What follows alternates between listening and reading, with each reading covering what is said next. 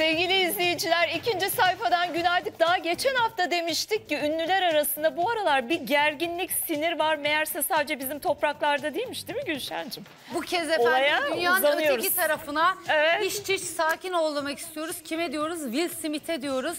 Ee, bu yıl 94.sü düzenlenen Oscar ödülleri efendim dün gece sahiplerini buldu. Kral Richard filmindeki performansıyla en iyi erkek oyuncu ödülü Will Smith'in oldu. Will Smith aldığı ödülün yanı sıra komedyen Chris Rock'a attığı tokatla da geceye damga vurdu. Tokatın nedeni ise Chris Rock'ın Will Smith'in eşi Jada'nın saçlarıyla dalga geçmesi. Bu şakalara dayanamayan Will Smith karımın adını ağzına alamazsın diyerek sahnede Rock'a tokat attı. Sosyal medyada bu görüntüler kurgu mu gerçek mi diye konuşulurken gerçek olduğu anlaşıldı izleyelim. You know who's got the hardest job tonight? Javier Bardem and his wife are both nominated. Now, if she loses, he can't win. is praying that Will Smith wins. Like, please, Lord. Jada, I love you. G.I. Jane 2, can't wait to see it. All right?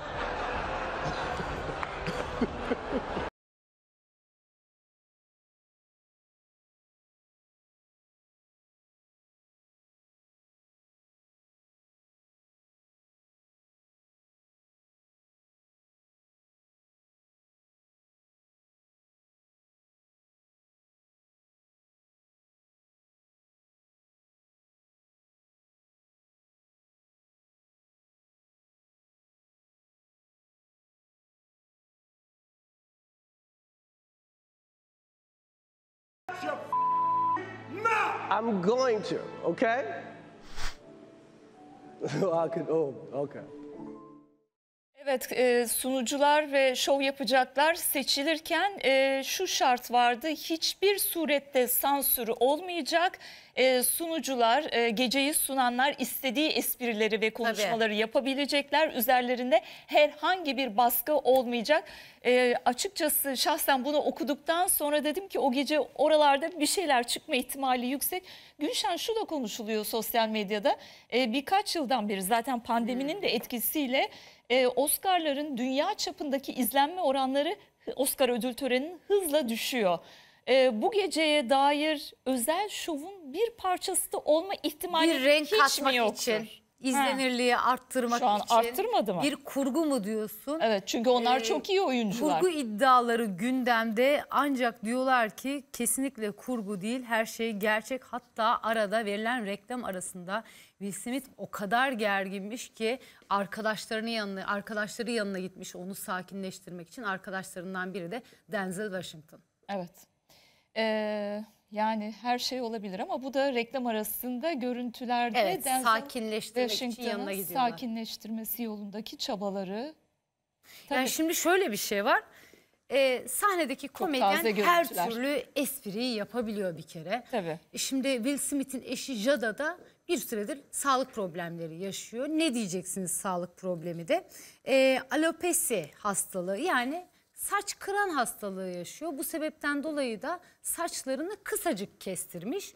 Ee, Chris Rock da sahnede herkese göndermede bulunuyor. Herkese espriler yaparken Jada'yı da böyle bir çizgi karaktere benzetiyor. Onun saçlarıyla dalga geçince Will Smith dayanamıyor. Ama sanki olay bu kadar basit değilmiş gibi geliyor Belki bana. öncesinde Perde arkasında başka şey şeyler vardır. var mı diye Bir düşünüyorum. şey olabilir Bu fakat kadar basit olamaz yani. Evet. Saçla dalga geçmek değil bu olay. evet e, rahatsızlık nedeniyle insanların tabii ki bir şeyi kaldırma gücü daha da zayıflıyor. Onun da etkisi olabilir ama e, bir de şunu düşünüyorum. Yani Türkiye'deki ödül törenleri için de geçerli.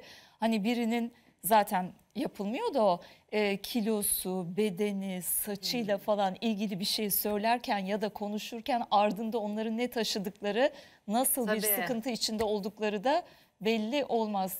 Hala da aklımın köşesinde ufacık bir, Bir soru pay işareti var. Evet. Evet bu olayın ardından Kral Richard filmiyle kazandığı en iyi erkek oyuncu Oscar'ını almak için sahneye çıktı. Will Smith teşekkür konuşmasını yaparken bu olaya da değindi. Görüntüm var arkadaşlar. Konuşmasının bir bölümünde de gözyaşlarını tutamamış ve ödülü veren akademiden özür dilemiş. Bir tek Chris Rock'tan özür dilememiş. İzleyelim. called on in my life to love people and to protect people and to be a river to my people. And I know to do what we do, you got to be able to take abuse, you got to be able to have people talk crazy about you. In this business, you got to be able to have people disrespecting you. And you got to smile and you got to pretend like that's okay.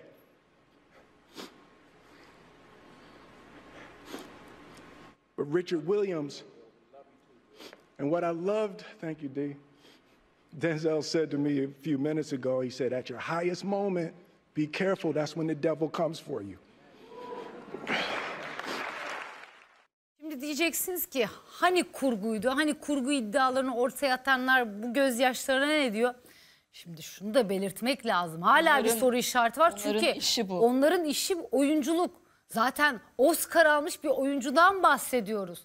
Onlar Yani- için ağlamak nedir ki? Ee, Will Smith için, Denzel Washington için ya da salonda bulunan diğer Oscar ödüllü starlar, gerçek oyuncular için dediğin gibi Evet. e, dokunaklı, kalplere hitap eden bir konuşma ve gözyaşları sizin bizim gibi değil ki bebek Evet. işi. Ee, tabii hani biz e, yine de bu ihtimali sosyal medyada da konuşulan bu iddiaları size aktarıyoruz. İnanmak, inanmamak seyredenlere kalmış bir durum. E, fakat eşinin rahatsızlığı biraz evvel Eda da söyledi saç kıran olmasının ötesinde geçen sene psikolojik buhranlar geçirecek ve hayatına son zaten- evet son verme noktasına gelecek gibi bir başka rahatsızlık. Belki onun uzantısı. Evet. Ee, Zaten saç kıranda olabilir. sıkıntıdan, üzüntüden oluyor. Evet. Ee, Will Smith'in eşi Jada geçen yıl Aralık ayında saçını neden kestirdiğini de sosyal medyadan yaptığı paylaşımla anlatmıştı. Kimse benim beyin ameliyatı geçirdiğimi düşünmesin ya da durmadan soru sormasın diye saç kaybının nedenini açıklamıştı. Saç kıran olduğunu açıklamıştı ama dediğin gibi Mügecim psikolojik sorunları da varmış. Peki sana şunu sorayım. Ee, böyle bir ödül töreninde bu yaşanan kargaşa, tokat ve yumruk Türkiye topraklarında bir ödül gecesinde olsaydı ne olurdu? Ee, ben ne düşündüm Biri biliyor kalkıp eşine bir hitaben bir espri yaptı diye bir sunucuya yumruk atsaydı ya da tokat atsaydı. Sonrasında biz neler yaşardık? O sahnede neler olurdu? Yayın ne olurdu diye düşünmeden insan edemiyor. Ben ne düşündüm biliyor musun? Ee, Oscar'larda hep mesajlar verilir. Şiddete son mesajlar Tabii. verilir. Böyle şiddet içerikli bir görüntünün ardından en iyi erkek oyuncu ödülü Will Smith'ten alınır mı? Akademi nasıl bir yol izleyecek ben asıl onu merak ediyorum. Ee, bilmiyorum alırlar mı almazlar Yani mı ama burada kurgu falan yoksa burada Evet. basbayağı bir şiddet var. evet. Hadi Yani- evet, sunucu, e, komedyen Chris Rock eşin Evet. hasta olduğunu bilemeyebilir. Yaptığı espri de o kadar böyle can acıtan bir espri de değil. Yani yakında bir çizgi filme mi başlıyorsun diye gibi bir espri yapmış. Ee, Bence başka bir husumet evet, var. Sunucunun Burada aslında e, Smith yani başka bir husumet olduğu şuradan da ortaya çıkıyor. Akademiden özür diliyor, herkesten özür Ondan diliyor. özür dilemiyor. Esas yumruk attığı kişiden özür dilemiyor. tokat attığında Yani, özür dilemiyor. Hani belki oturduğu yerden bir laf atma, bir küfür, bir tatsız bir laf etse bir parça daha toparlanır ama kalkıp yumruk atacak şekilde o da şeyini alamıyor, korumasını alamıyor çünkü öyle bir şeyle karşılaşacağından Hayır hiç hiç, orada hala espri haberi yok. yapıyor. Bir de elleri falan arkadan bağlamasına da bakar mısın? O kadar rahat yani böyle bir şey beklemiyor yani zaten. şu sanki bir böyle bir film sahnesi gibi. Aynen. Aynen hani. Ağlaması da sanki o filmin içinde bir şey gibi değil mi? Karısı bile şaşırıyor evet Sahne gibi. ağlaması. Evet. Yani e, ağlamasını görünce onlar zaten profesyonel iyi oyuncular hissi geliyor. Yumruk atmayı görünce de olabilir diyorsun. Evet. Öyle Bakalım insanı ikiye ayırıyor. ödül onda kalacak mı yoksa Evet. alınacak mı? Ya da sonrasında neler çıkacak? Belki arkalarında varsa başka bir husumet olay o da arada fırlayabilir. Hafta sonu Atina'da e, bir düğün yapıldı. Sosyetik çift e, Dila ve Dahan Doğruer nikah masasına oturdular. Aman efendim ne düğündü? Çünkü 300 konuk için özel uçak kiralandı. E, gecesi 65 bin TL'den e, odalar tutuldu. Herkes şıklık içindeydi. Gelinlik ayrı konuşuldu. Kıyafetler ayrı konuşuldu. Gelin Atina'daki düğüne bir tur atalım. Ünlü fenomen Atina'da evlendi. Magazin ve sosyete dünyası düğüne akın etti. Dilat Arkan'la Dahan Doğruer'in nikahını hangi ünlü isim kıydı? Şıklık yarışının yaşandığı düğünde hangi ünlü isim gelini bile gölgede bıraktı? Hamile olduğu iddia edilen sosyal medya fenomeni Dilat Arkan'la iş adamı Dahan Doğruer Atina'da dünya evine girdi. İki gün iki gece süren festival havasındaki düğün içinde hiçbir masraftan kaçınmadılar. 300 kişilik özel bir uçak kiralayarak Yunanistan'a götürdükleri misafirlerini geceliği 15 bin liradan başlayıp 65 bin liraya kadar giden lüks bir otelde ağırladılar. Dilat Arkan nikahta, düğünde ve after partide olmak üzere Züleyha Kuru imzalı 3 farklı gelinlik giydi. Ama konukların da gelinden aşağı kalır yanı yoktu. Beyaz konseptli bekarlığa veda partisinde Yağmur Tanrı Sevsin, Merve Oflaz ve Hacı Sabancı'nın eşi Nazlı Sabancı göz kamaştırdı. İtalya'dan özel getirtilen bir müzik grubu eşliğinde eğlenen davetliler ertesi günde Yunan mitolojisine uygun şekilde süslenmiş salondaki düğüne katıldı. Nikah bir gün önce kıyıldığı için düğünde temsili bir nikah töreni yapıldı. Nikah memuru cübbesini giyen isimse Sibel Can'ın oğlu Engin Can Ural'dı. Söz verip hiç kimsenin etkisi ve baskısı olmaksızın özgür iradenizle eş olarak kabul ediyor musunuz? Düğüne de bekarlığa veda partisinin olduğu gibi Merve Oflaz, Nazlı Sabancı, Sibil Çetinkaya ve Yağmur Tanrı Sevsin damga vurdu. Peki sizce düğünün en şık ismi kim? Yalnız ne düğün, iki gün iki gece Sorma. sürdü. Evet. Damat bey gerçekten hiçbir masraftan kaçınmadı. Davetliler için özel uçak kiraladı. Geceliği 65 bin liradan odalar tuttu. Bu zamanda ne Bayağı demek? bir 300 kişi Paralar gitti. Sadece masraflar, davetler konuşulmadı. Tabii ki de en çok konuşulan ise sosyal medyada yaptığı o şık paylaşımlarla da tanınan Dilan'ın gelinliği çok konuşuldu. Sadece sosyal medyayı değil, tasarımcıları da ikiye böldü. Ebru Şancı Öztürk gelinlikler tasarlıyor. Modelliği yıllar önce bıraktı. Ebru Şancı Öztürk gelinliğini, Züleyha Kuru imzalı gelinliği Bebek gibi kızı Drakula'nın gelini gibi giydirmişler diyerek tiye aldı. Deniz Berdan da modacı Deniz Berdan da tavrı o kadar tatlı ki her şeyi taşıyor. Çok problematik bir tasarım bile olsa. Evet Deniz tasarımı Berdan'a çok katılıyorum. problemli bulmuş. Evet. Yani önden bakınca saten gelinlik Evet. arkadan bakınca da böyle sabahlığa dönüyor gibi. O kollardaki o detaylar falan. Dila da su gibi güzel bir kız. Çok. Şimdi Dila boylu poslu, çok güzel, çok sade, çok havalı bir kız. O gelinliği yani bu tarzda bir gelinliği en fazla Dila taşıyabilir. Evet. Yani hani bazı modeller var e, yüzde 90, yüzde 80 kim giyerse giysin yakışıyor ve taşıyor ya. Böyle bir şey değil. Değil. Yani önden belki Gecelik. arkadan da şimdi bir iddia var. Dila'nın e, bebek beklediği yolunda hatta kızı olacak deniliyor. Evet. Arkadan böyle bir lohusa elbisesi yani böyle Doğru. bir hamilelik elbisesi gibi. Önden de başka bir şey. Ben bir de gelinlikteki o cep detaylarına çok takıldım. Biraz da spor olsun falan mı demiş ama o cep detayı cepin cebine ne koyacaksın? Fındık fıstık Odanın kartını mı koyacaksın? cep telefonunu mu koyacaksın? Cep telefonsuz yaşayamıyoruz biliyorsun artık o Biliyorum. nesil. Onlar hep ellerinde cep telefonu var. Influencer. Cep telefonunu mu cebine koyacak? O cep detayına da ben biraz takılmadım. değil. Yani ya da böyle bazı insanlar ayakta poz verirken dururken ellerini nereye koyacaklarını şaşırıyorlar ya. Bir modacı öyle demişti işte falanca müşterime cep dikiyorum. Sıkılınca hani böyle rahat etsin diye. rahat etsin diye ama yani Ya boyun detayına da gerçekten diyecek bir şey bulamıyorum. Dila gerçekten stiliyle hayran olduğumuz isimlerden Çok. bir tanesi.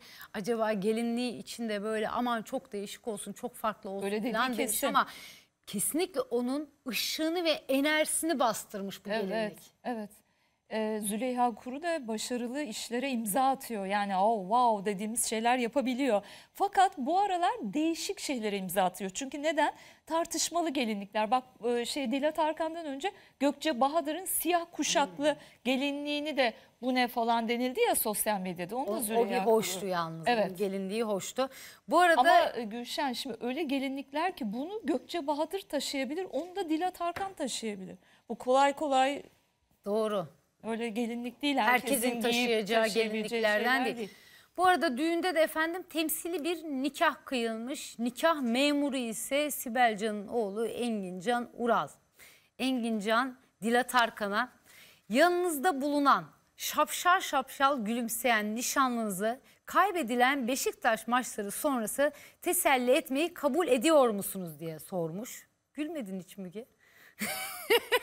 hiç, hiç tebessüm bile etmedin. Hayır bilmiyordum biliyor musunuz? Şu an senden haberi okurken Evet. sen duydum. Dahana da her sabah kahvaltısını yatağına götüreceğinizi, her özel gününde hediyeler alacağınızı, sıkılmadan saatlerce her açıdan fotoğrafını çekeceğinizi, özgür ve vahşi bir kartal olarak, olarak kabul ediyor musunuz sorusunu yöneltmiş Engin Can.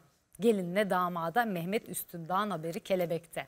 Yani artık genç nesile bunu soracaksın. Zaten iyi günde kötü günde falan onlar bir Tabii, kere bazıları onlar- için artık anlamını yitirdi. Evet. İyi günde yanında kötü günde kaçıyor. Bun turizm. E, yani sağlıklıysan yanında hastalıkta kaçıyor. Ama gençlere bence iyi bir espri olmuş. Hiç sıkılmadan fotoğrafını çekecek misin? Hem de her açıdan. Ha o espri olabilir de öteki Sen yine damada... gülmedin ama. Ya ne bileyim güleceğim şey var. Gülünce bana Güldürmedi. komik gelmedi. Sadece o dediği doğru ama çünkü Dilat Arkan e, sosyal medya fenomeni olduğu için bir yere gittiklerinde eminim 350 kareyi o güzel kareleri Tabii. eşi çekiyordur yüksek ihtimalle ama ötekilerine gülemedim açıkçası. Evet biraz önce konuştuğumuz gelinin fotoğrafını da getirebiliriz efendim. Müzisyen Emir Ersoy ile bir ay önce nikah masasına oturan oyuncu Gökçe Bahadır düğünü hakkında konuştu. Her şey hayallerimden bile güzel oldu dedi.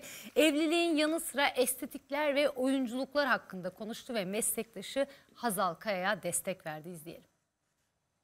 düğün var evimiz şenleniyor Davullar vuruluyor çağrılar Yaklaşık bir ay önce Emir Ersoy'la evlenen Gökçe Bahadır düğünüyle ilgili birçok sırrını ikinci sayfaya anlattı. Eşimin hediyesini asla açıklamam. Emir Bey'in özel bir hediyesi oldu mu düğün için? Tektaş dışında. özel oldu evet. Onu anlatamayacağım şimdi burada. Cicim ayı olmadı. Cicim ayı bile yok. Her şey aynı devam ediyor. Hiçbir değişiklik yok. Ee, gayet evlendik ve sonra ben sete gittim ertesi gün zaten. Ee, aynen set hayatı. Hiçbir şey değişmedi. Bu yazda düğün var evimiz şenleniyor Davullar vuruluyor çağrılar çalınıyor Hayal kırıklıkları oldu mu peki düğün sonrası sizi aramayan dostlarınız veya kırıklıklarınız? Genelde düğün sonrası bu tarz şeyler yaşanır ya. Yok öyle bir şey olmadı çünkü bizim zaten şeyimiz çok belliydi söylemiştik. Çok aile arasında ve çok e, küçük bir ekiple e, yapabildiğimiz. Çünkü bu süreçte anca onu yapabilirdik. E, anca onu yapabildiğimiz için herkes zaten biliyordu.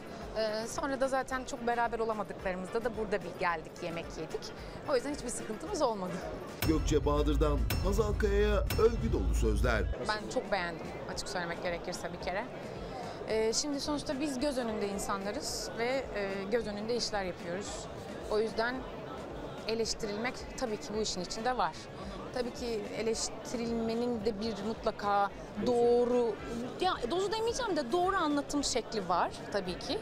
Ee, tabii ki eleştirebilirler. Hiç kimse hiç kimse her şeyi beğenmek, çok övmek zorunda da değil. Ee, biz de bunlara zaten hazırlıklıyız ve biliyoruz hani beni de beğenmeyenler oldu. İyi şey yapmayanlar. Her şey olabilir yani. Dediğim gibi sağ olsunlar tabii ki beğenenler de o da ayrı. Daha fazla oldu. Biz beğenmeye denk gelmedik. Ya ama ben e, çok beğendim diyorum. Ben işi de çok beğendim. Ben Hazal'ı da zaten çok beğenirim oyunculuğunu. O yüzden onu da çok beğendim. Daha fazla kaçamazsın artık. Evet Gökçe ha, söyle. Geçen gün bir gazetede şöyle bir başlık gördüm. Gökçe'ye evlilik yaradı. Şimdi evlilik Gökçe'ye mi yaradı yoksa Emir Ersoy'a mı yaradı? Bence Emir Ersoy'a Emir yaradı. Ersoy'a yaradı. Çünkü Emir Ersoy'un adını e, Gökçe ile ilişkisi sayesinde Tabii. çoğunluk olarak duydu. Biz biliyorduk da. Tabii. Şimdi niye yaradı demişler. Çünkü bir mücevher markasının yüzü oldu 3 milyon liraya. Ee, yakında da bir dondurma, Dondurma reklamı markası. için kamera önüne geçecek. Oradan da 1,5 milyon lira Arada almış. bir takım arkasında. İşte oradan 3 milyon lira Evet. almış. İşte o yüzden de Üç tane evlilik reklam filmi. evlilik Gökçe yaradı. Valla evlilik O bence evlilik kulüp falan değil. dizisi. O kulüp ve oyunculuğunun ekmeğini yiyen isimler. yani. Kesinlikle. Bir de Aslı Enver şimdi e, bir dizide, dijital e, platformda Aslı Enver'in oyunculuğuna böyle ağzım açık izledim. Ben izlemedim. İnanılmaz. Merak ediyorum çünkü sosyal medyada? Oscar'lık bir performans sergiliyor Evet. demişler. Yani sosyal medya tabii biz, biz abartmayı çok seviyoruz ama mükemmel. Evet. Çok çok iyi yani. Konuklar geldi mi gecim? Konukları Tayt açıklamasıyla Evet. Geçen haftaya damga vurdu efendim. Her bir Çocuklar duymasının kaynattı. fıs fıs İsmail'i, Süleyman Yağcı ile programcı Esra Sönmezer konuğumuz. Gel canım gel. Evet, hoş, geldin Süleyman. Esra tight mı giydin yoksa? Evet, tight giydim. Ha? Bir oturmayalım, oturmayalım. Transfer Ee, miydi? Siz bazı kadınlar öyle taytlar giyiyor ki iğrenç dediniz. Şimdi bu e, Esra da bir tayt giymiş. Nasıl buldunuz taytını? Dişi de güzel, içi de güzel. Ha, sen de şimdi yani Evet. Ben mi anladım onun diyorsun? demek Evet. istediğini. Hello aşkım. sen çok sevdiğin için bir şey Uzaktan. söyleyemiyorsun Gel şimdi. uzaktan. Gel hoş geldin. Hoş Gel. bulduk. Esra bak objektif değerlendir. Esra senin tanımadığın yolda böyle giden bir hanımefendi, hoş hanımefendi olsa. Görsen Esra'yı. Vallahi bu haliyle gitsin kelime etmem. Yakışmış, uydurmuş. Evet, Benim- ceketiyle. Benim iğrenç dediğimi herkes biliyor ve halkıma da minnettarım onlar da biliyor. Evet, çok destekler. Yüzde on bilmeyen var. Onlar da kimdir? Giyenler ve giydirenler. Ve daha da önemlisi bana sapık diyenler var ya sapık diye yorum atmışlar Öyle bana. mi yazmış? Esas tehlikeli onlardır. Ben ne diyorum? Adabli olsun diyorum. İğrenç bir şekilde giymeyin diyorum. Çünkü benim kalbim temiz. Ama o bana sapık diyenler de bana kızıyor. Ulan diyor bırak, bırak daha kötü giysinler de göz banyosu edelim. Asıl sapık onlardır. Sen bir tek kelimeyi yanlış kullandığın için kurban Evet, oldun. Ne çok yanlış yanlış. kullandım? Yanlış İğrenç kullandı. lafı Bir dakika. Şey, bir dakika dur. Uçunuz bir Sakin taraf, ol. ben tek taraf. Kabulüm. Dur, Ama anlatayım. Hadi. Savaşacağız. Başla. Dur ben anlatayım. Başla. Önce bir anlatayım. Evet. Şimdi geçen hafta Fıs Fıs İsmail benim Pembe Pijama programına konuk geldi. Hoş geldi. Bir izleyicimiz efendim canlı yayına telefonla bağlandı. Dedi ki kocam artık bana e, evlenmeden önce hiç karışmıyordu kıyafetime. Evlendikten sonra çok karışmaya başladı dedi. Biz de dedik ki neden ne oldu? Taytman giymeyi çok seviyorum ama taytın üzerine uzun bir tunik giymemi istiyor dedi. Biz de buradan bir hafif ufaktan atışmaya başladık. Sen de dedin ki hayatım, kadınların tayt giymesine karşıyım dedin. Bak. Bak, bak burada vallahi röportaj Değiştirme. değiştirmiyor. Aa buradan oku. Ha, hayır Esra Hanım. Karşında fıs fıs var? İsmail var. Ben bunu yemişim. Bu bir gazete haberidir. Ben, ben çocuk değilim 59 yaşındayım. Bu gazete haberidir. Niye o zaman kendine o kadar güveniyorsan programından kesit getirmedin? Ben belki unutmuşsun. Ben kelime kelime söyleyeyim. Tamam. Kesit de getirebilir. Kızım dedim güzel kızım bir tayt için yuva yıkılmaz. Bu zamanda zaten koca yok. Anlaşın. Adam demek ki seni seviyor, kıskanıyor, giyme diyor. Ya üzerine bir hırka giy dedim ya da bir şey daha bolini giy ya da ama yuvanı yıkma dedim. Sonra aramızda konuşurken dedi ki ben de tayt giyiyorum ne var dedi. Dedim ki bakın tayt giymekte bir şey yok. Ancak bazı bayanlar çok aşırı iğrenç giyiyor dedim. Ama iğrenç kelimesi yanlış. Süper bir kelime. Asla. Ne demem gerekiyor diye anlatır mısın? Yakışmıyor. Yakışmıyor. Olmadı. Bakın. Niye? Diyor ki karşılamıyor diyor. Yani o kelime diyor onu karşılamıyor ama yine de başka bir şey İğrenç, olabilirdi. ağır Bakın biraz. bir şeyi beğenmemek, çirkin demek beğenmemektir. Mesela e, şu ta- bardağı beğenmezsin, çirkin dersin. Bu çirkindir. Beğenmiyorum. Herkesin özgür bir... Çirkin başka bir şey, Bak. iğrenç başka Ha. bir şey. Mesela hakaret Ben de onu ediyorsun. anlatmaya çalışıyorum müsaade et. Çirkin demedim ben. Çirkin demek başka bir şeydir. İğrenç demek başka bir şeydir. Benim iğrenç kelimem geçerlidir. Tam yerine cuk diye oturmuş. Çünkü hiç kimse o pis manzarayı görmeye mecbur değil. Sen o manzarayla sokağa çıkacaksın ve donu bana diyeceksin ki e bakma Pisten kastın ne? hepiniz biliyorsunuz. Kim ki öyle iğrenç giyiyor altında ne giydiği apaçık ortada. Bazıları hiç giymiyor. Tayt nereye gidecekse gittiği ortada. Kabak gibi sokağın ortasında. Senle perşembe günü programa katıldık çıktım ya programdan. Sanki tesadüf ya. Tam o şey caddesi o caddenin adı neydi bu Halas Halas Valiko Halas Halaskazı Caddesi. Ha, orada metro durağı var ya. Şimdi bak burada metro durağı var. Şu kadar bir boşluk kalmış. Buradan gidiyorum.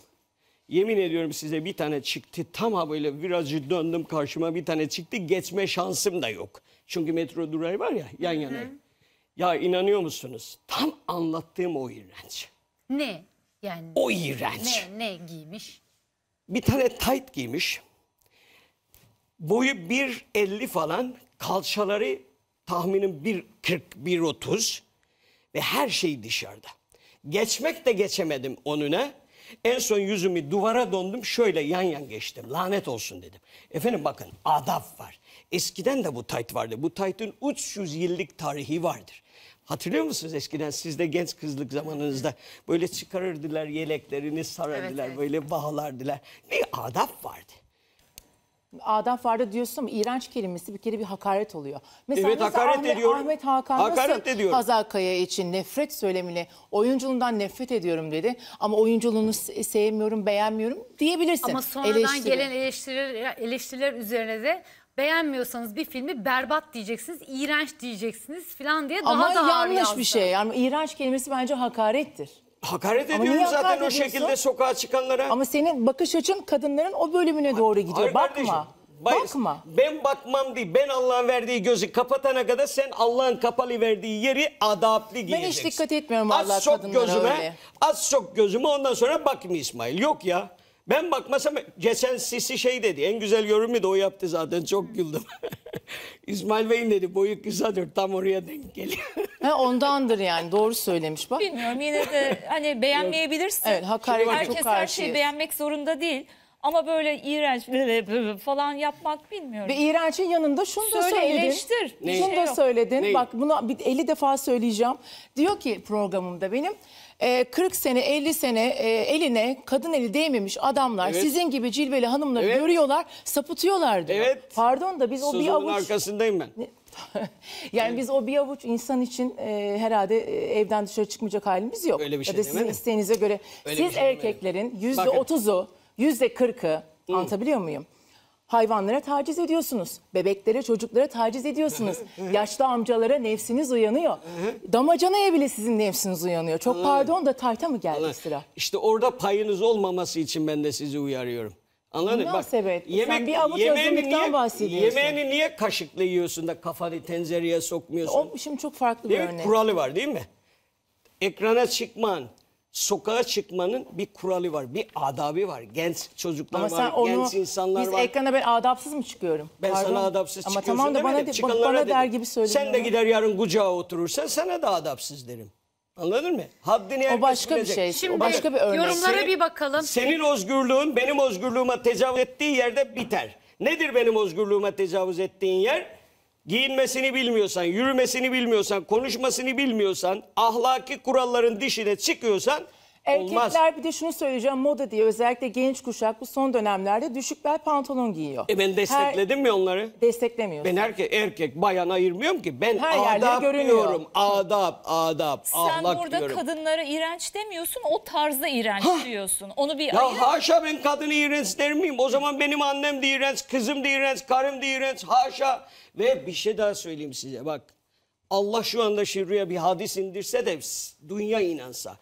Şu Türkiye'de kadınları seven, saygı duyan her birini annesi, bacısı, kızı kadar saygı duyan ilk onun içindeki adamım ben. Öyle sıradan bir adam Evet değilim. size de soralım. Fıs İsmail efendim Süleyman Yarcı sizce haklı mı haksız mı? Nazire Hanım adam kesinlikle haklı ee, eleştirmekte demiş. Asil de diyor ki sonuna kadar katılıyorum. Kelimenin tam anlamıyla iğrenç. Daha nasıl anlatılır ki kesinlikle katılıyorum derken Leyla Hanım valla ben de saçını kaşını boyayan konuşmasını bilmeyen erkekleri hiç sevmem. Bu arada herkes istediğini giyer kimse kimsenin bekçisi olamaz. Ben kimsenin bekçisi değilim.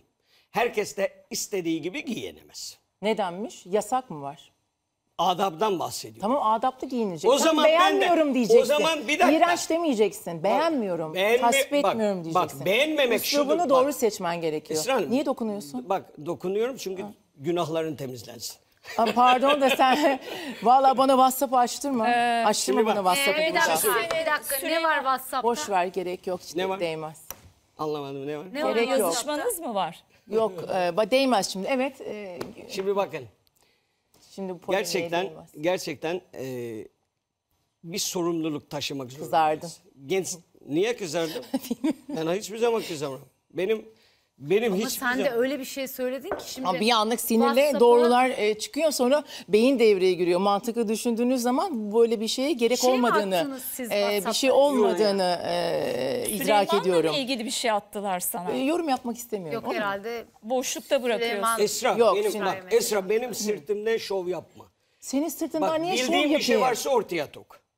Niye şov yapayım senin Bak bildiğim sırtından? bir şey varsa ortaya tok. Benim sırtımda şov yapma.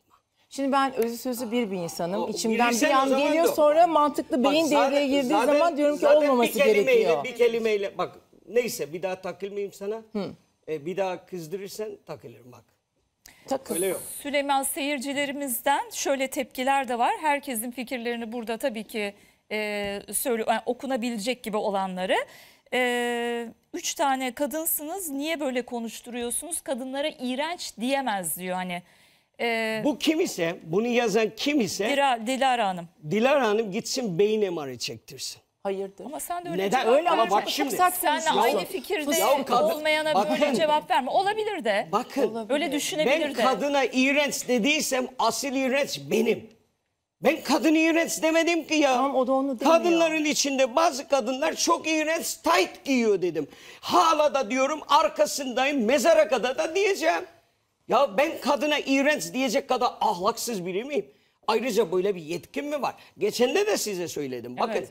benim böyle bir yetkim yok. Böyle bir beynim yok. Özgürlük var. Atatürk bu hakkı vermiş rahmetli. Ancak diyelim ki ben Diyanet İşleri Başkanıyım. Bak bir makam sahibiyim. Yine de ben kalkıp da kadınlara siz tight giyemezsiniz demem. Diyemem. Hadisi okurum kenara geçerim. İsteyen istediğini giyer. Ben böyle bir şey demiyorum ki. İçinde iğrenç giyenler var. Yani bunu senin özgürlüğün var onu giymeye de. Benim özgürlüğüm yok mu onu iğrenç demeye ya?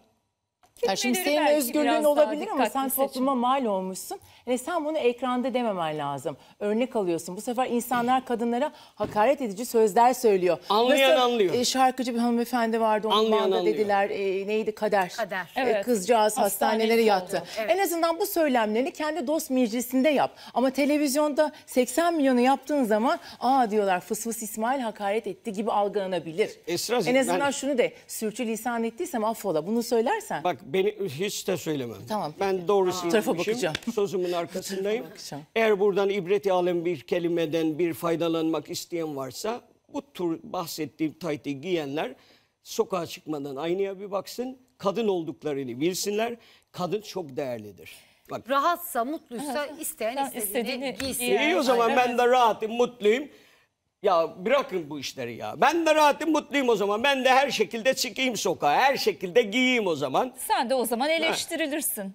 E ben de eleştirdim işte. Bak geldiniz sözüme. Hayır. Birileri sana Süleyman olmuş eleştir- olmamışlar. Evet. Belki iğrenç demezler. İğrenç, nefret, e, böyle demeyiz ağır iğrenç. lafları seçmeseydim Siz belki... bayansınız. Mesaj geldi. Üç bayansınız. Hadi hadi beni ezmeye çalışın. Yok, Yo, hiç hayır, ezmeye fikrimizi çalışmıyoruz. söylüyoruz. Ezemezsiniz ki ezemezsiniz. Yok, İğrenç kimsenin demişim. kimseye İğrenç. ezmeye Bitti. çalıştığı yok bu arada. Masaya Yok. gelen hiç kimseyi Allah için 15 yıldır hiç ezmeye kalkmadı. Hiç yapmadı. Evet. Ben hiç sözümün yapmadı. arkasındayım arkadaşlar. Evet. Herkes özgürlüğünde hududunu bilecek. Yaşam tarzını da bilecek. Kural vardır.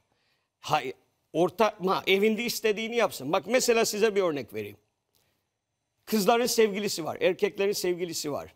Adamın iki tane sevgilisi var. Beş tane sevgilisi var. Umrumda değil. İstediğini yapabilir.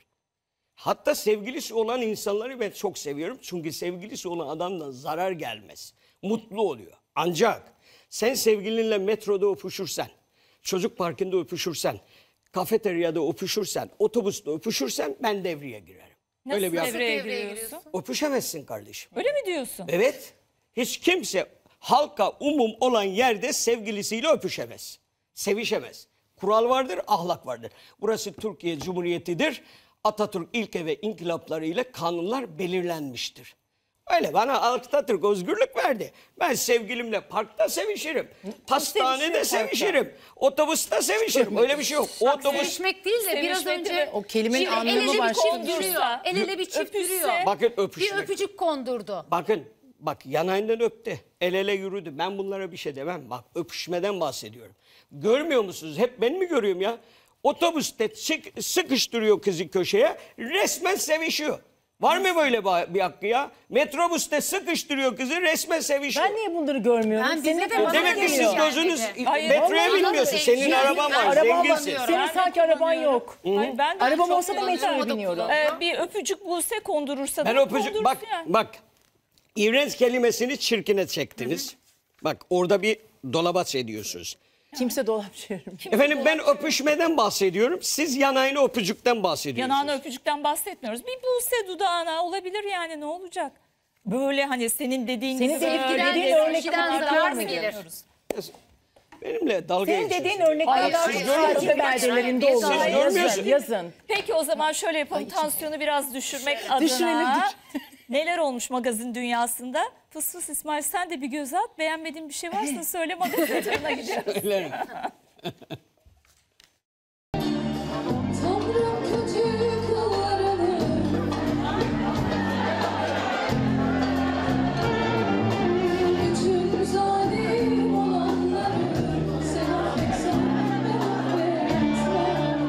çocuğuna hamile Merve Özbey 20 kızım olsun isterim dedi. Ben anne olmayı çok sevdim. Ee, hele olay artık interaktiviteye dönüşünce yani Elif'le bağ kurma bağ kurmak değil de hani böyle onun söylediği şeyleri anlamaya başlayınca, o senin söylediğin şeyleri anlamaya başlayınca iş böyle masal diyarı gibi bir şey oluyor gerçekten. Allah bütün evlatlarımızı korusun. İsteyen herkese nasip etsin. Allah bize ikinci evladı da emanetli de gönderdi şükürler olsun. Bir an önce sağlıkla kucağımıza almak istiyoruz. Çok heyecanlıyız. Ee, kızı tattık, oğlanı da tatacağız şimdi. Benim- Zinet Salih geçen hafta Güllü'den bir şarkı seslendirmişti. Dışarıda yağmur var Aldırmıyorum Masada resmin var Kaldıramıyorum Sevdiğim şarkıyı çaldırmıyorum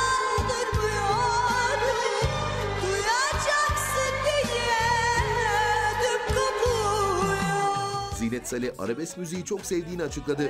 Çok severim aslında e, ara, arabesk şarkıların bazılarını. Yani hangimiz bir Müslüm Baba'yı sevmez, hangimiz Bergen sevmezdi zaten hani filmi ve şarkıları e, çok büyük e, ve ben onun yanında Güllü'nün de çok özel şarkıları var. Onlardan biriydi. E, o gün stüdyoda bizim Sana Doyamıyorum'un e, provası vardı ve dışarıda gerçekten yağmur yağıyordu. E, çok spontan olan bir şeydi. İçimden geldi ama şunu görüyorum ki e, plansız programsız ve içinden gelerek yapılan her şeyi e, dinleyici, izleyici e, daha çok sarıp sarmalıyor. Dışarıda yağmur var,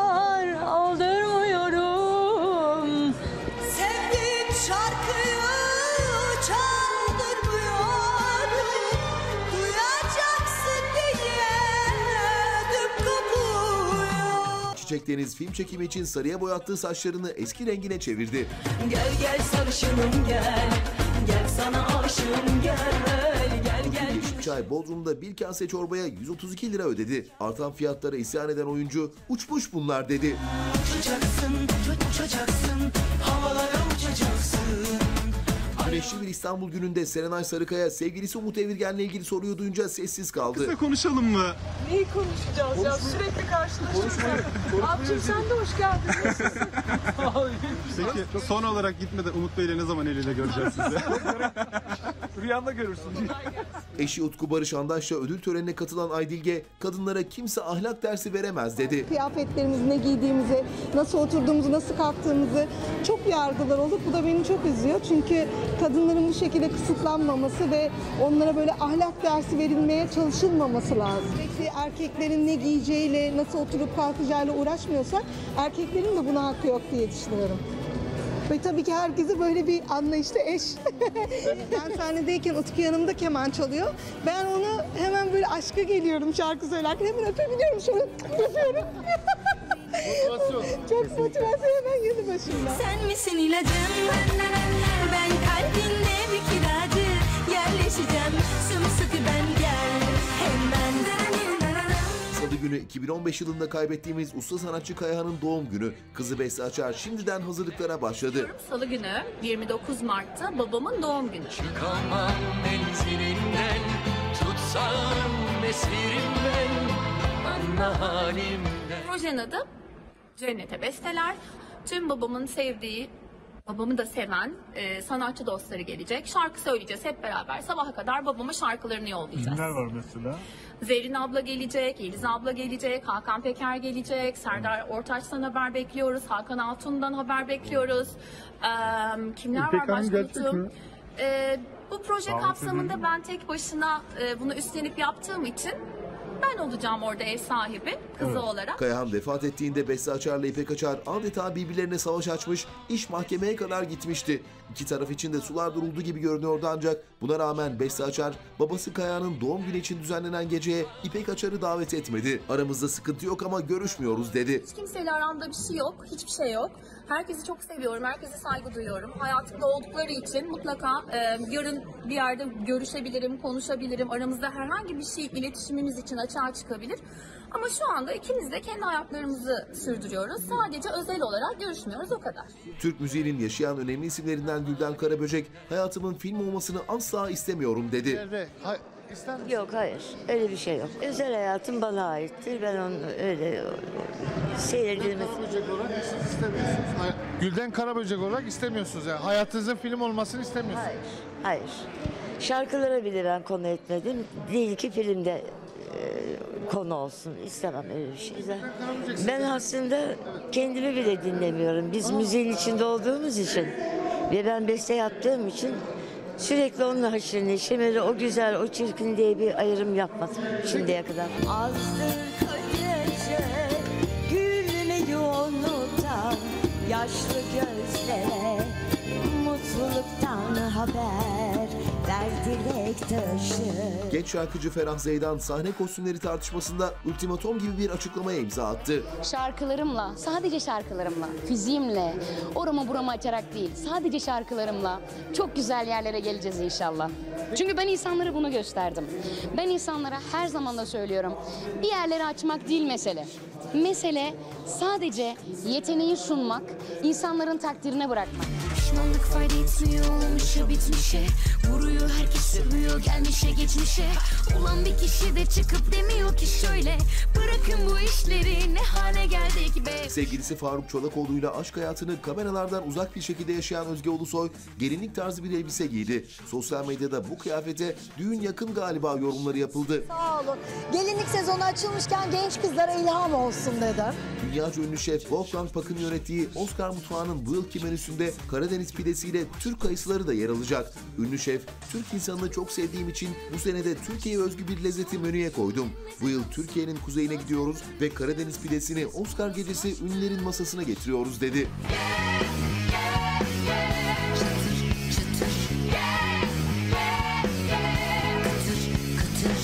Aslı Bekiroğlu geçtiğimiz günlerde Kubilay Aka ile el ele kol kola görüntülenmiş, adı aşk iddiasına karışmıştı.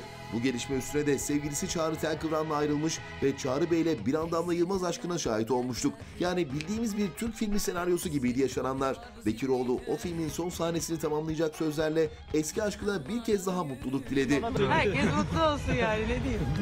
Nikahına beni çağır sevgilim İstersen şahidin olurum senin Fikret Orman sevgilisi Tuğba Coşkun'la akşam yemeğinden çıkarken görüntülendi. İkili geleneği bozmadı ve konuşmadı. Bekliyorduk. Merhaba diyelim dedik. İyi akşamlar dileriz. Nasılsınız neler yapıyorsunuz? Biraz konuşalım Fikret Bey. Uzun zamanlar değil göremiyoruz sizi. Peki. Öykü Karayel'le mutlu bir yuvası olan Can Bonomo, oğlum Roman bana benziyor dedi. Ee, Öykü çalışıyor sette. Ee, ben de çalışıyorum. İşte iş güç konserler oradan oraya koşturuyoruz. Ee, onun yanı sıra işte çocuğumuzu büyütüyoruz. Keyfimiz çok yerinde. İyiyiz. Nasıl yaramazlıklar başladı mı? E, o bitmez yaramazlıklar. Ee, babasının oğlu bana da çekmiş. Çok e, çok hareketli maşallah. E, keyfimiz çok yerinde ama çok mutluyuz yani. Kıvanç Tatlıtuğ ve Beren Saat yıllar sonra aynı dizide buluşacak. Selçuk Yöntem Aşk-ı Memnu'daki eski rol arkadaşları Kıvanç ve Beren'in aynı projede bir araya gelmesiyle ilgili sorulara bilgim yok diye karşılık verdi. Tekrardan bir projede bir araya gelecek. Bilginiz var mı? Sağ olun. Selçuk Bey son zaman. Kanunsuz toprakların Davutu Uğur Güneş aşık olmak için Cihangir sokaklarında doğru insanı arıyor. Böyle yalnız görmüşken de bir sormak istedik acaba aşk kapıları kapalı mıdır? Aşk durumları nelerdir ama. Bekarım şu an bir şey yok. Benim ilişki durumum şu an hayırlısı. bir bakalım yani doğru insanı bulduğum zaman neden olmasın. Hürriyetten Hakan Gence'ye konuşan Murat Boz, çapkın değilim, flörtözüm, romantik değilim, fiziksel güzelliğe konsantre bir adam olmadım. Beni bir bakış, bir tavır, enerji hali çok etkiler itirafında bulundu. Gözü karaydı siyahtan kömürdü silahtı vururdu bakışta Yaz geliyor. Oyunculuğu bırakıp moda dünyasında adından söz ettiren Yasemin Özilhan bu yazki plaj modasını anlattı. Seyahat çantaları var. Daha böyle poşetimiz, e, clutchlar var. E, bu shopping bag belki de hani plaja giderken de kullanılan, daha rahat günlük kullanabileceğimiz çantalar var. Küçükler ve şunlar büyükler. Yaz rengini soruyorum. Yaz rengi biliyorum. Çok renk, bu sene var güzel renkler ya. Ajda Pekkan konserinde adeta 80'lere ışınlandı. Bronz renk takımı, saçına taktığı bandı ve iri küpeleriyle konserini bir anda 80'ler partisine çevirdi. Zaten zamanı durdurmayı başardığı için o yıllardaki gençliği ve güzelliğini de hiç kaybetmemişti.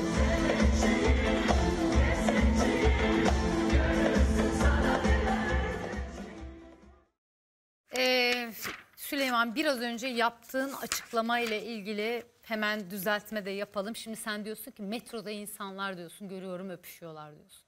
Biliyorsun değil mi son dönemde gazete sayfalarında okuyorsundur. Adamın bir tanesi gözümün önünde öpüşüyorlardı deyip çocuğu öldürüyor. Kızı öldürüyor. Yakın zamanda böyle olayları çok fazla duyduk.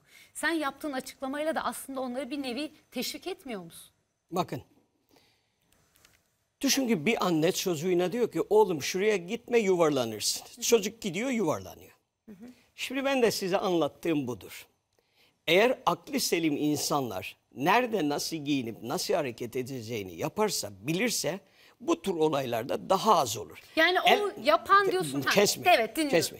Tamam. Elbette ki bir insanı öldürmek, dövmek, ona bıçak sokmak bunlar vahşiliktir.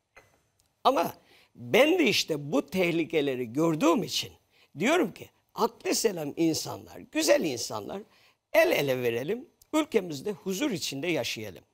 Ben bir kadının obje olarak, reklam ürünü olarak kullanılmasına, ucuz mal olarak sergilenmesine karşı bir insanım. Çünkü çok değer veriyorum. Çünkü bir ben değer vermiyorum. Bakın hadiste bile bunlar değerlendirilmiştir. Ben bunu anlatmaya çalışıyorum. El ele verelim, yanlışlara yanlış diyelim, doğrulara doğru diyelim.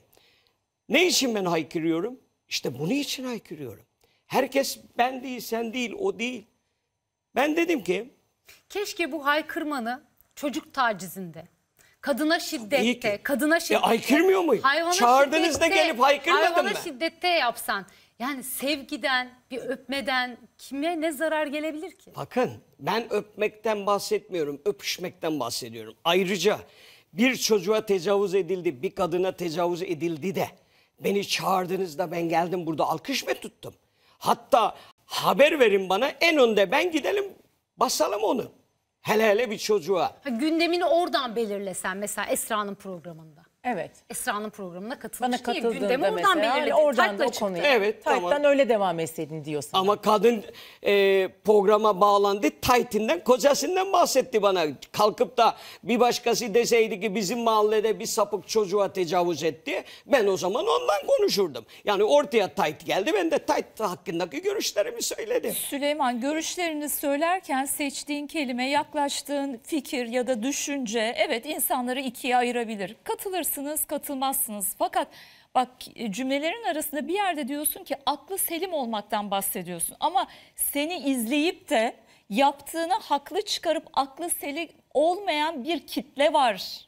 İşte o kitleyi O yok kitle- etmek için el ele verelim. Sen Hayır, de o teşvik ediyorsun teşvik onlar için de ediyorsun. ama. Ya ben şimdi Yok etmek No, için no, el ele verelim no, diyorsun. yani ben şimdi- Ama bir taraftan da o kitleyi de gaza getiriyorsun. Ya acaba sen. görüşünüz Hasta bu mu? var, hasta. Gerçekten görüşün bu. Görüşünüz Evet, bu mu? görüşün Yoksa bu. magazin mi yapıyorsunuz? Hayır, görüşün Ya arkadaş ben ben diyorum ki bakın ben diyorum ki iğrençtir toplum içinde çocukların bulunduğu yerde birebir sevişmek iğrençtir. Ay, o Bak kelimeyi öpmek kullanma. demiyorum. İğrençtir diyorum. Siz bana diyorsunuz ki teşvik ediyorsun. Ya ben neyi teşvik ediyorum? Bir bilsem yani alkışlıyor muyum? Aferin yürüyün mü diyorum. Türkiye görüp de, Cumhuriyeti'nde bunu kimse görüp de- bunu yapmayacak dedin ya reklam Süleyman öncesi. bunu görüp de insan öldüren hasta kafalar var. Seni dinleyip de. Ha, Semih seni örnek alır. Ondan sonra bu tip cinayetler daha fazla olursa diye demek var. istiyorlar sana. uyar. Bakın daha da önce daha önce bu cinayetler işlenmiş değil mi? Evet. E peki ben dedim mi de işlendi? Demek ki işleniyor. Arttırırsın diyor Belki- dozajını. Ya Esra var ya uyanık adam. Hayır Süleyman bunu sosyal medyada ve bir canlı yayında paylaşman kaç kişinin izlemesine neden olacak? Daha da Daha artıracaksın. arttıracaksın. Ya artırmayacak. Bak herkes... Hayır olayı artıracaksın anlamına gelmiyor. Düşünceni daha da artıracaksın. Olur mu ya bir bir bırak insanı öldürmek bir insana Karşı, bir yumruk tabii ki vurmak bile karşısın. bak bir insana bir yumruk vurmak bile eşin biriyle kavga etti. Adam gözüne bir yumruk koydu. Gözü kapkara geldi eve. Sana nasıl anlatacak? Ben bugün kavga ettim birisi bana yumruk vurdu. Ben hayatta yapamam. Yapmam. Bak beni askerde komutanım çağırdı. Dedi ki seni çavuş yapıyorum. Dedim komutanım bana her gün tuvalet yıkat ama beni çavuş yapma. Niye dedi? Sen Rizelilerin safı mısın dedi. Dedim komutanım ben kimseye emir veremem. Kimseye el kaldıramam. Ben kalk kıremem. Böyle bir adam da çavuşluk edemez. Anladın mı? Ben böyle bir adamım. Hassas adamım. Ben sevgi adamıyım. Aşk adamıyım. Paylaşım adamıyım. Yardım adamıyım. Çünkü ben ölümü şu anda sizinle konuşurken bile ölümü bedenimde hissederek konuşuyorum. Ben 30 sene ambulans şoförlüğümde 100 yaşında bir ölü ambulansa koymamış adamım. En kral 98 yaşına almışım. Ha 100 yaşına yaşayan yok mu? Var. Ama bana denk gelmedi 30 senede. Hayat kısadır. İnsanın gerçek sermayesi paylaşım, dürüstlük, sevgidir.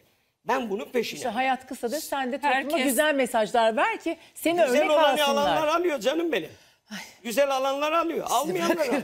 Peki haberlerimizle devam edelim. Hatta e, bir dönem aynı seti paylaştığın Tamer Karadağlı kendisinden 30 yaş küçük sevgilisi Iraz Yıldız'la ilişkisini bitirdi. Daha çok yeni bitirdi ve ardından bu konudaki sorulara şöyle cevap verdi. 55 yaşındaki oyuncu Tamer Karadağlı'nın kendisinden 30 yaş küçük Iraz Yıldız'la geçen hafta ilişkisi bitmişti. Karadağlı ayrılık sonrası soruları yanıtladı. Şu günün konusu artık bu değil. Şu anda başka bir sebepten dolayı. bu. Ayrılık nedeni evlilik isteği mi? Evlilik istemiş, siz istemediğiniz için ayrıldığınız gibi. Yok öyle şey. Tamer Karadağlı'dan erkeklere mesaj var. Ben özel hayatımla ilgili hiç konuşmadım, hiç konuşmuyorum. Bunun çok doğru olduğuna da inanmıyorum. Ben özel hayatımla ilgili hiç konuşmuyorum. Hiçbir birlikteliğimin arkasından zaten konuşmadım. O bir erkeğe yakıştığına inanmıyorum. E, magazini de kaçırmıyorsun, gündemi yakından takip ediyorsun. Bu aşk haberi ilk çıktığında şeyin ne oldu? Fikrin, tepkin ne oldu? Şimdi açık, Düşüncen nedir? açık söyleyeyim. Bak ben demin de size söyledim. Ben Evet. aşka karşı bir adam değilim. Evet. Sevgilisi olan bir insanı da daha çok seviyorum. Evet, söyledin. Öyle bir adamım. Söyledin. Tamer Karadağlı olağanüstü bir adamdır. Ben onunla 20 sene aynı seti. Evet. paylaştım. Paylaştınız. Bakın noktayı koymuş. Adam gibi adam. Diyor ki ben ilişkilerimin arkasından konuşmam. Bitti. Noktayı koymuş. Ama Tamer Karadağlı çıksın Taksim Meydanı'nda ya da İstiklal'da ya da Beşiktaş Meydanı'nda sevgilisiyle öpüşsün. Bak yanak öpücüğünden el ele tutuşmaktan bahsetmiyorum. Bak öpüşme bunu yapanlardan bahsediyorum. Öpüşsün karşısına çıkarım. Ahlaksızlığın olduğu yerde fıs fıs İsmail olmaz. Ünlülerden bir sürü öyle öpüşenler var magazine yakalananlar. E doğru mu Onlar da mı ahlaksız? Doğru mu yapıyorlar? Tamam da ahlaksız mı? diye soru sordum. Sen cevabını ver. Ben, Sen cevabını ben- ver. Senin iddian bunlar. Ben iddia Eğer halkın içinde, halkın içinde öpüşme derecesinde ileri gidiyorsa ahlaksızdır. Siz hanımlar düşünceniz var mı? O Siz O düşüncemizi öğrendi. Biraz önce Ee, söyledik. söyledik. Ya şimdi evet. Tamer Karadağlı'ya geri dönelim. Tamer Kar- Karadağlı'ya gerçekten helal olsun. Neden helal olsun? Biten ilişkinin ardından Bitti. konuşmak Adam bir gibi erkeğe adamdır ya. yakışmaz diyor. Bir erkeğe değil bir insana yakışmaz. Adam gibi adamdır. Kadına da yakışmaz, erkeğe de yakışmaz. O kadar. Bitti. Yani o anlamda kendisini tebrik ediyorum. Ben de tebrik İlişkinin ediyorum. başlangıcı kadar. çünkü Öyle bir adamla bitişleri de- çalıştığımda ne gurur bitişleri de önemlidir. Şimdi bakın bir şey diyeceğim Söyle. size. Ee, halkın eleştirisine boynum kıldan incedir. Hı. Ee, rahmetli Atatürk zaten diyor. Senin için şu anda ahlak bekçisi desinler, yorumları yapıyorlar. Desinler. İstediğini halk desin. Rahmetli Atatürk da demiş zaten. Yeter söz milletindir. Halkımın karşısında boynum kilden incedir. Ancak üç tane yorumcunun hakkında konuşacağım. İsim vermeden sadece baş harflerini söyleyerek. Bir tanesi E.A. İsmi E ile başlar, soy ismi A ile başlar. Beni öylesine eleştirmiş ki ahlaksızca. İşte iğrenç dediğimden biri de bu. Kim ya şey fıs fıs mı tıs tıs mı ne ambulans şoförü falan filan. Ulan ezik adam. Sen kimsin? Fıs fıs İsmail Kaçkar dağlarında yetişti. 35 yaşında geldi. Türkiye'nin gündemine çıktı. Türkiye'nin en iyi dizisinde oynadı ve Fıs fıs İsmail ismini aldı. Sen İstanbul'un göbeğinde doğmuşsun. Gittiğin her yerde kovulmuşsun. Hiçbir yerde bir yere sap olamamışsın. Ve hadi beni eleştirdin. Kabul başımın üstüne. Sen çocuklar duymasın gibi bir diziyi, bir senaryoyu eleştirecek kadar boş beyinsin.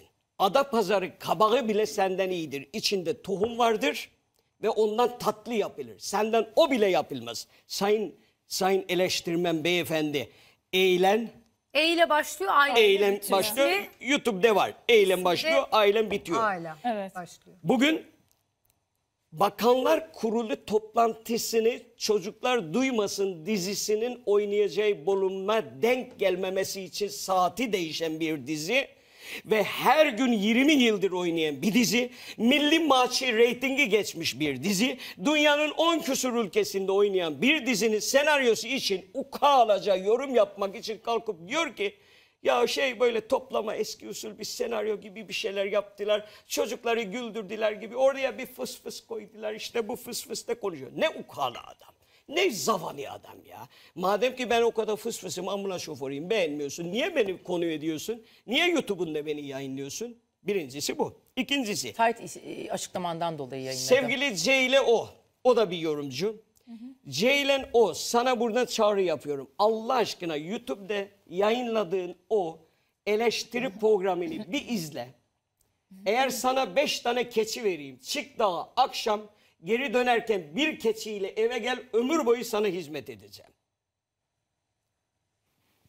Gelelim en önemli birine. H.U. Adını vermiyorum. Adını verme diye de çok baskı geldi bana. Çünkü çok sevilmeyen bir adam. H.U. Sevgili H.U.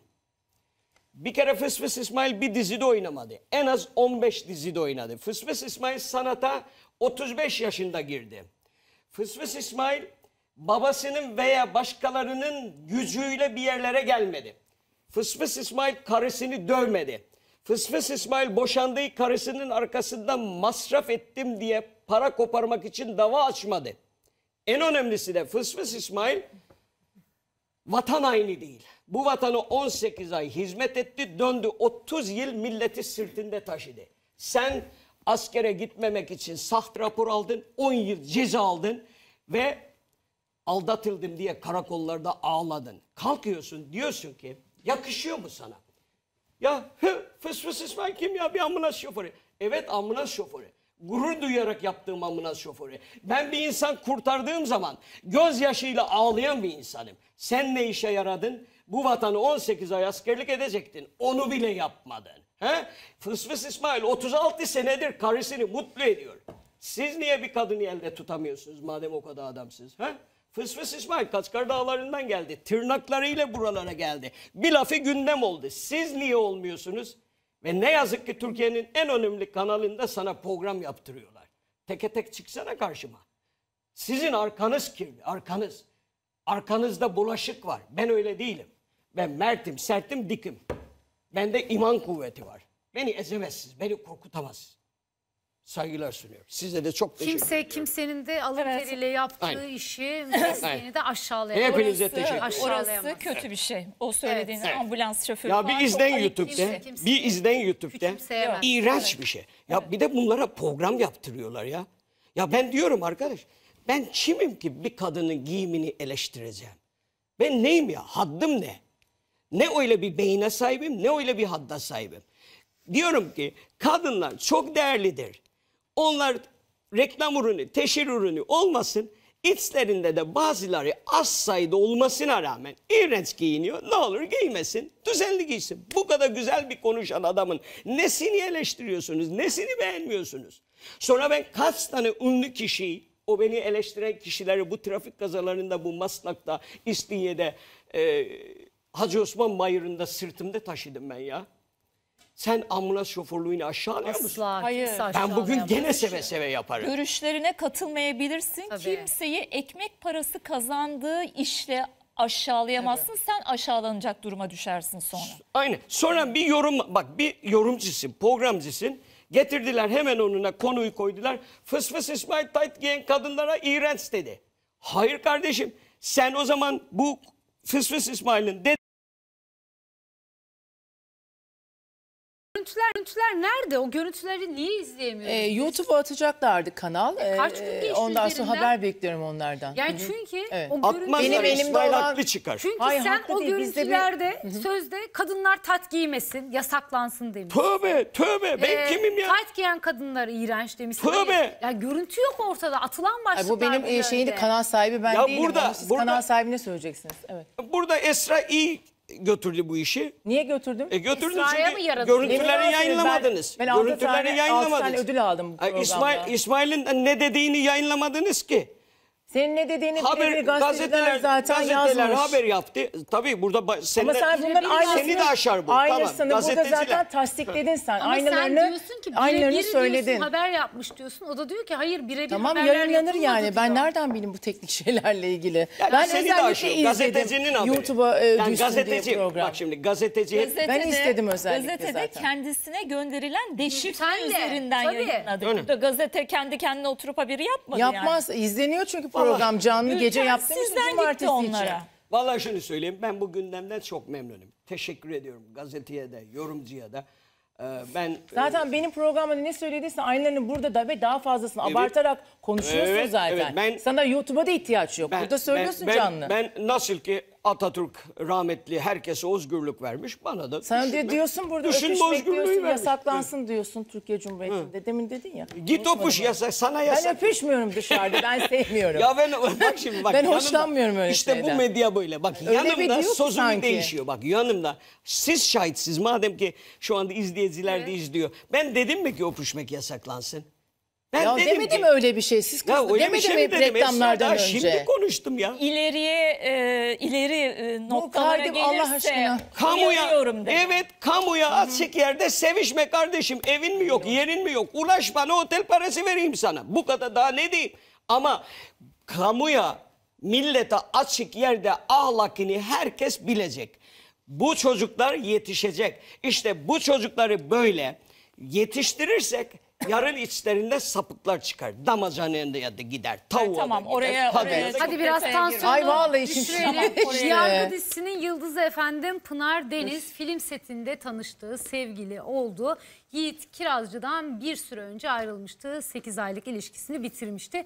Muhabir arkadaşlarımız Pınar'a Yiğit Kirazcı'yla bir projede yeniden bir arada olur musunuz diye sordu. İşte yanıtı. Tebrik ederim insanın yarasını kanatmakta ustasın gerçekten. Bundan çıkacak sonuç bizi gerçeğe götürecek. Belki de kardeşim kurtulacak. Tutkulu bir aşk yaşadığı Yiğit Kirazcı ile geçtiğimiz günlerde ayrılan Pınar Deniz, ayrıldığı sevgilisiyle eğer teklif gelirse aynı projede rol alabileceğini söyledi. Ayrıldınız. Yiğit Bey'le böyle tek, yani bir proje gelse kabul eder misiniz Yiğit Bey'le ilgili? Ee, bununla ilgili zaten konuştum. Geçen beni sıkıştırdın orada. Seni artık. evet, orada söyledim bitti.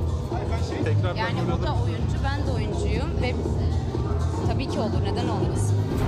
E, ayrılıktan sonra da üstelik yeni ayrılmışlar. Aynı sette karşı karşıya oynamak, oynamak ne kadar zor bir şey. Tabii. E, Pınar Deniz bu ayrılığı isteyen kişi. Duyguları bitmiş olan taraf. Yani onun tabii ki olabilir demesi kolay ama bir de Yiğit Kirazcı'ya Yiğit sorsan. Kirazcı'ya sormak lazım. Aşkları da bu arada Aşkın Kıyameti isimli bir filmin setinde başlamıştı. 14 Şubat Sevgililer Günü'ne 4 gün kala da ilişkilerini bitirmişlerdi. Sosyal medyada birbirlerini takipten çıkıp silmişlerdi. Hatta engellemişlerdi. Evet. Biraz sıkıntılı bir bitişti onların. Hızlı başladı, hızlı bitti. Şimdi gelelim Hadise'ye. Hadise e, hafta sonu İstanbul'da sahneye çıktı sevgili izleyiciler. Kendisini en önden nişanlısı Mehmet Dinçerler izliyordu. E, hadise şarkı vasıtasıyla sordu. Aşk kaç beden giyer diye Mehmet Dinçerler'in tepkisine. Bu arada Hadise'nin nişandan sonraki yeni tarzına bir göz atın. Sonra en mutlu gününü paylaştı.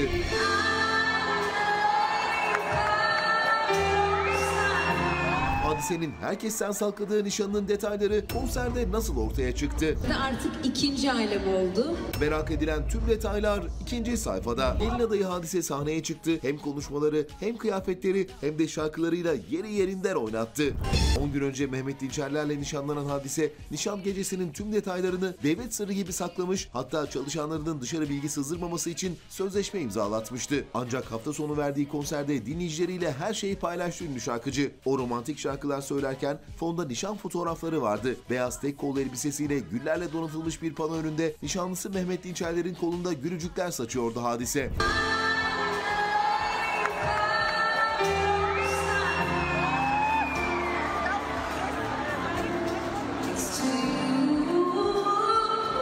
Mehmet Dinçerler de nişanlısı Hadise'yi yalnız bırakmadı konserinde. Üstelik Dinçerler ailesi tam kadro katılmıştı geceye. Hadise bu fırsatı kaçırmadı. Hayranları ve Mehmet Dinçerler'in ailesinin önünde nişanlısına adeta serenat yaptı. Bu şarkıyı sevgilim için söylemek istiyorum. Geçenlerde çaktırmadan arabada biraz prova yaptım. Belki anlamışsındır. Anlamadın mı? evet. Çok güzel bir şarkı. Çok seviyorum. Bu sana gelsin.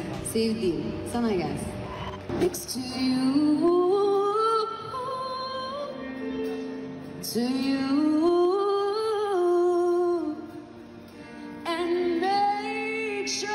Sadece bir şarkı değil, tüm şarkıları sevgilisi Mehmet Dinçerler'in gözlerine bakarak söyledi hadise. Salonda sanki sadece ikisi vardı. Mutluluğu yüzüne ve şarkılarına yansımıştı hadisenin. Sahne üzerinde ayak basmadık yer bırakmadı. İkinci ailem dediği kayınvalidesine hitaben de duygusal bir konuşma yaptı. Sanki haftalardır içinde tuttuklarını haykırıyor gibiydi. Sevgilim Mehmet burada, nişanlım burada.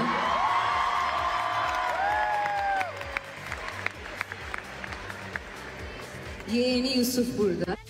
Evet. O da gizli bir hayran çıktı. Annesi burada. Göksu çok seviyorum onu. Bir ailem vardı artık ikinci ailem oldu. Onları çok seviyorum. İyi ki varlar. Hadisenin sadece ruh hali değil tarzı da değişmişti. İkinci sayfa moda editörleri bu değişimi hemen mercek altına aldı. Daha gündemden düşmeyen Gülşen efendim kazancını da 3'e katladı. Ayda 15 konser veren pop yıldızının aylık kazancının artık 1 milyona yükseldiği konuşuluyor. Yaz konserleri şimdiden dolmuş hatta bazı tekliflere de hayır diyormuş o yoğunluktan dolayı. Şimdi bir e, ayda 1 milyon kazanıyor ve ayda 15 konser veriyor. E, size sana şöyle söyleyeyim Mügeciğim ben bu rakamı biraz az buldum. Zaten bugün Çünkü, var. evet bugünkü rakamlara da değineceğiz. Ayda 15 konser verse 1 milyondan şuradan hemen hesap makinesiyle Hesap- hesap böyle makinesi 15 hazır. 66 bin lira konser başına. Yok asla mümkün Yok değil. çok az geldi bana. Vergiden kaçırmak için öyle yazmışlar. Çok az geldi bana gerçekten bu Yani rakam. Cem Belevi'nin bile 80 bin TL aldığı bu konser piyasasında onun 66 bin lira. Takvim gazetesi zaten e, Vermiş oyuncuların şey şarkıcıların pandemi sonrası artan rakamlarını da kaleme almış. Şarkıcılar sahne ücretlerine 2 yılda %300 zam yapmışlar. Gülşen konser başına 400 bin lira kazanıyor. Sertab Erener'in sahne ücreti 300 bin lira. Alişan her konserde cebine 200 bin lira koyuyor. Ajda Pekkan konserlerinden 750 bin lira kazanıyor. Konser başına Cem Belevi 80 bin, Cenk Eren 120 bin, Berkay ise 200 bin lira kazanıyor. Bunlar daha gerçeğe yakın rakamlar. Ee, Ufuk bugün yapmış e, şeyde takvimde Ebru Gündeş'in 500 bin TL ve özel gecelerde bunu artırdığını da biliyoruz. Gülşen'in de son günlerde artık tartışılan, konuşulan bir sahne figürü olmasından dolayı Her gün gündemde, fiyatı, her gün evet, konuşuluyor. 400 bin TL ve bir ay bir aysa işte 20 günü dolu. Bazı konser tekliflerini de geri çevirdiği için o konserlerde daha düşük ücretlere başka popçulara ya da şarkıcılara gidiyor. Bu arada Çelik de biliyorsunuz 90'lara damga vuran Çelik de hafta sonu e, Alev Gürsoy Cim'ine bir röportaj verdi ve diyor ki Sezen Aksu'nun veliahtı Gülşen'dir. Müzik hayatları çok benziyor. İkisi de üretiyor, risk alıyor ve konuşuluyorlar. Katılıyor musunuz Sezen Aksu'nun veliahtı Gülşen midir? Ben bir şey yorum yapamam. Esra? Ee, çok yorum yapamayacağım bu konuyla ilgili. O Çünkü zaman Sezen Aksu'nun yeri geçelim. çok ayrı olduğu için hani Gülşen daha belki bir yeni. O yüzden bir şey diyemiyorum. O Peki Çelik'in fikri saygı duyarım. bir yorum yapayım. Ee, Gülşen'in de daha Sezen Aksu mertebesine gelebilmesi için yıllarını bir harcaması lazım. Sezen Aksu olmak öyle kolay bir Sezen şey değil. Aksu'nun veliahtı kim diye düşünüyorum. Veliahtım. Ee, Bence yok benim gibi. aklıma bir Benim isim gelmiyor. Sıla geliyor. Sıla Bir daha Sıla hızlı geliyor. Bir Hani Sıla geliyor. Tamam o liste içinde Gülşen de olabilir ama böyle ilk öne geçen bu bir yarışsa bir bir şey belirlemekse Sıla, Sıla daha geliyor. Bence geliyor. insanlara velihat e, biçmektense o insanları o şekilde efsaneleştirmek daha doğru. Nasıl Efsaneler mesela Michael zaten. Jackson rahmetli doğdu bir veliahtı yok bence. Bir efsane ama onun yerine başka bir efsane de olabilir. Zaten Öyle yapmak daha senin mantıklı benim bence. belirlememle olmuyor. Olmuyor. Tabii ki. Toplum Halk o belirliyor noktaya onu. getiriyor. Peki, seviyor ya da Fıs sevmiyor. fısa Gülşen'in de tarzını sorsanız demiş. Ay hiç izlemiyorum diyor onun adına ben söyleyeyim. İzlemiyorum. İzlemiyor musun? Yok ben izlemem. Ben ben size daha önce de bahsetmiştim. Bakın bırakın e, şarkılarını dinlemeyi. Hı. Eğer ki yine söylemiştim. Şu telefonu bir bayana reklam ettiriyorlar. Ve bayanın bedenini, cinselliğini bu telefonun önüne geçiriyorlarsa ben ömrümde başka telefon alma şansım olmasa dahi bu telefonu almaktan vazgeçerim ve almam. Neden? Dünyanın en değerli varlığını reklam teşhir ürünü olarak kullandığı için. Evet bu telefonu bir bayan reklam edebilir. Adabıyla giyinmiştir. Bu telefonu bana reklam eder ben de gider alırım. Ama o bayana sen onun bedenini, cinselliğini kullandırıyorsan demek ki bu üründe iş yok. Bayanın sayesinde bana satmak istiyorsun. Bu saçma bir fikir olabilir ama bu benim fikrim. Ben de özgürüm bu ülkede. Ön planda Ama ürün olmalı. Ben bayanların hunarca kullanıldığı teşhir ürünü olarak harcandığı hiçbir yerde yokum. Bu kadar. E bazı erkekler de öyle reklamlarda teşhir Ya ürünü gibi erkekler bak erkekler bayanların hizmetçarıdır. Burada bile erkekler fenomenliğini kullanmış kadınları ezmişler. Allah demiş ki kadınına hizmet etmeden kadınına mutlu etmeden sen hiçbir şey olamazsın. Bu kadar basit. Ne diyor? Evet evet diyor böyle toplanma bir senaryo eski usul bir şey. Aşağılayamaz. Ha, ben ona kızıyorum. Tabii ki eleştirebilir. Sen Ne demek? emeğe saygısızlık yapıyorlar Evet, diyorsun. Tamam. Ya Orası tamam. İstanbul sokaklarında sıkı yönetim var gibi trafiğin bittiği bir dizi ya. Bakanlar Kurulu'nun saatinin değiştiği bir dizi. Sidilerinin yapıldığı bir dizi. İnsanların Rahmetli beğenip, Sakıp Sabancı evinde dayanamayıp sete geldiği bir dizi ya. insanların beğenip beğenmeme hakkı var. Var. Ama, e, aşağılayamaz tabii ki. Evet. Derdim bu. Evet. Der, beni beni bütün Türkiye eleştirsin bak. İsmail Bey sen yanlış konuşuyorsun desin bana. Her şey desin. Ama ya şey bu kim ya bu ambulans şoförüydü değil mi? Ha, O çok kimse- ayıp bir şey. Bu konuda Sen kimsin ya? Evet. O Kimsin? Çok, çok ayıp bir şey o. Ben bir hastayı sırtıma aldım. Ben beş tane ulusal kanalda aynı yayındaydım. Bak nöbet tutuyorum. Zapping yapıyorum. Beş tane ulusal kanalda ben varım. İşte Seda Sayan'ın programındayım. Çocuklar duymasındayım. Ha, has, yaralı kurtarmaya gitmişim. Haberdeyim. Beş kanalda ben varım. O anda tele, e, telsizden emir geldi. Tarabya'da trafik kazası var. Tarabya'ya gittim. Hastayı kucakladım. Üzerime kustu. Beş kanalda ben varken ben hastayı kucağıma taşıdım ve üzerime kustu. Hiç gocunmadım. Hastamı getirdim şiş diye teslim ettim. Gerekli işlemleri yaptırdım. Gittim üzerimi temizledim. Ben böyle bir adamım.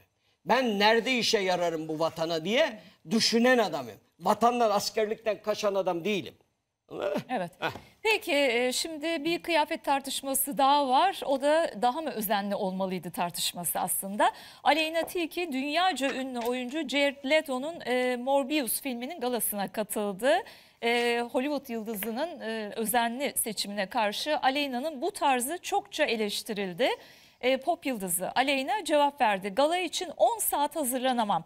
Ben tüm kıyafetlerden daha güzelim dedi ve daha sonra şu tweet'i attı. Size ne ya? Benim için zaman diye bir şey yok. Size göre 80'ler, 90'lar, 2000'ler modası diye bir şeyler var ama benim için bugün, yarın, dün hepsi birden karışık.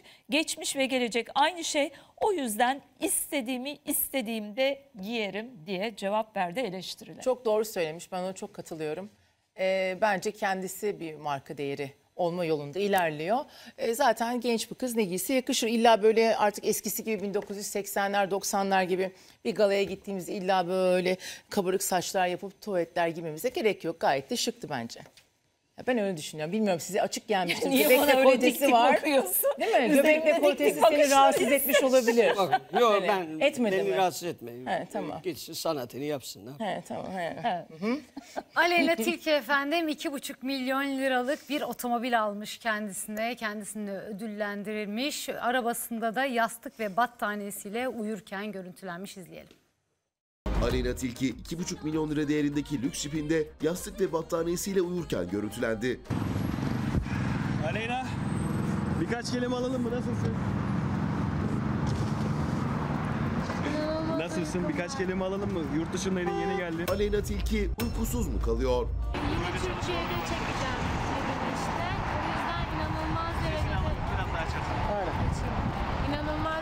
çalışıyorum. Duvar falan boyuyorum, grafiti falan yapıyorum. Şeyler var, çalışıyoruz.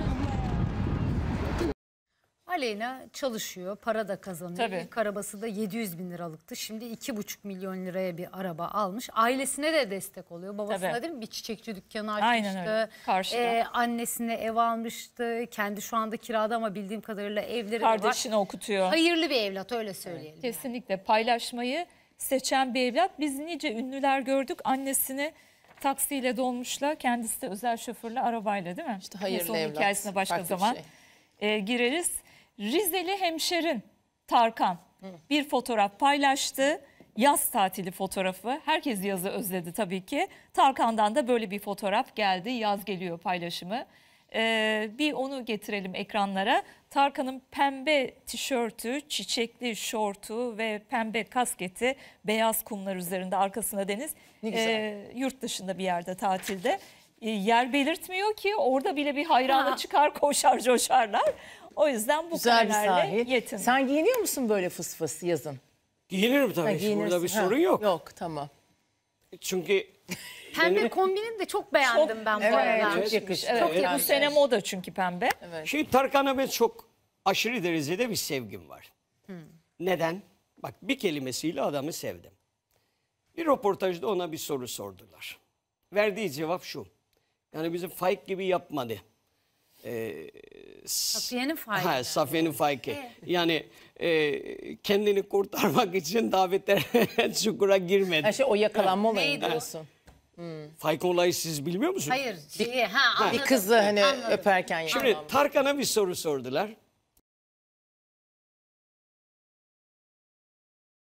Arkadaşlar dedi ya, millet uzaya gidiyor dedi ya. Böyle boş şeyleri konuşmayın ya. İş yapalım dedi ya. Ülkemize ne katarız, ne katma değer katarız. Bunun için çaba gösterelim. Mest oldum adamın cevabına ya. Ondan sonra da sevgim arttı. Almanya'dan Boşuna Türkiye'ye döner dönmez zaten. yoğun bir çalışma temposuna girmişti. Kendisini ve ailesini ödüllendirdi. Tatilden de fotoğraflarını yaz geliyor notuyla paylaştı. Paylaştı. Pazartesiye biraz tansiyonu yüksek başladık. Tansiyonu da yüksek bir yayın oldu. Fıs fıs İsmail de orada Yorumlara yorumlara, dalmış. Evet. Yorumlara bakıyorsun. tansiyonu fıs fısın artık yok. benim artmadı. Yüzün güldüğüne göre yorumlardan Evet boşuna mutlu gidiyor. ol, çok Hoşuna gidiyor. memnun. Mesajlara Yorumları da okuyor çok bakıyor. Ay bugün bana bir sert bakıyor. Ben böyle hiç. Hayır yanlış anlıyorsunuz ya yapmayın. Şu an başka bir şey düşünüyor. Aynen Başka bir şey Hemen düşünüyoruz. anladım. Evet. Çok teşekkür ediyoruz. Biz teşekkür ederiz. Sağ olun. efendim. Yarın görüşmek dileğiyle. Hoşçakalın. Hoşçakalın.